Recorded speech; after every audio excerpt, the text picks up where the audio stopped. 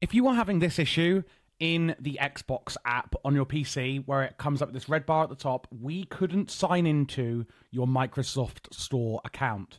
There seems to be a problem with your Microsoft Store account.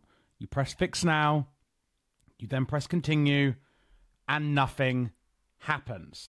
If I then reopen the Xbox app thinking, oh, maybe it's fixed. No, it is not fixed.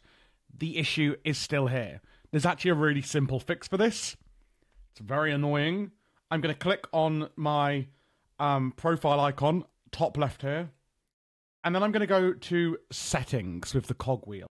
I'm then going to scroll to the bottom so you can see I'm on the tab account at the top here. Just scroll to the bottom of this page, and there's an option here purchase sign in. I want to buy without a password for faster checkout. Untick this and then re tick it. When you retick it, it's going to kind of load. And then if you close Xbox, oh, it's actually closed Xbox completely.